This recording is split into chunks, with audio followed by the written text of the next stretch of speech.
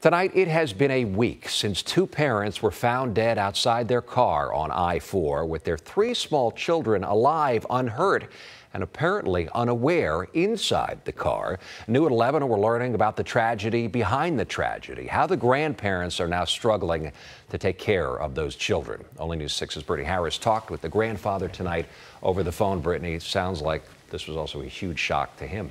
Yeah, he says they still don't know what exactly happened and are waiting to hear more from investigators. In the meantime, though, they're now raising his daughter's kids. It's been more than a week since state troopers found Daniel and Heather Kelsey dead outside their SUV on I 4 in Volusia County, and investigators still haven't determined an official cause of death. All they know so far is that at least one of them had drugs in their system. I don't want anybody to ever have to go through what we've gone through. It, really is, it truly is terrible. That's Heather's father, Mike Bellisle. We talked to him by phone. He says what makes the situation even more heartbreaking is that all three of his grandkids, who are under the age of four years old, were in the back seat of the vehicle, completely unaware that their parents had died. Our four-year-old grandson is autistic.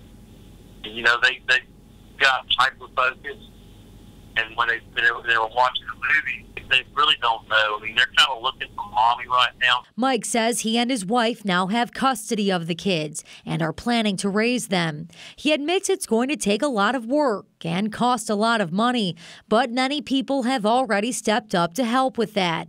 One family friend even set up an online fundraiser. We're extremely thankful for it. We're overwhelmed by how generous people have been.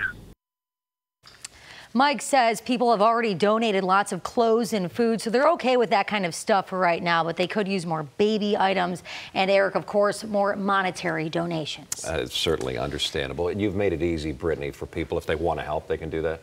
Yeah, that's right. We put everything online, including the GoFundMe page and the You Caring page, and, of course, the entire story is online, so if people want to learn more about the situation. And, of course, the cause of death hasn't been ruled uh, officially just yet. Still, right. Yeah, there's a mystery as to how they died. That has yeah. not really been That's confirmed. right. Brittany, thank you very much.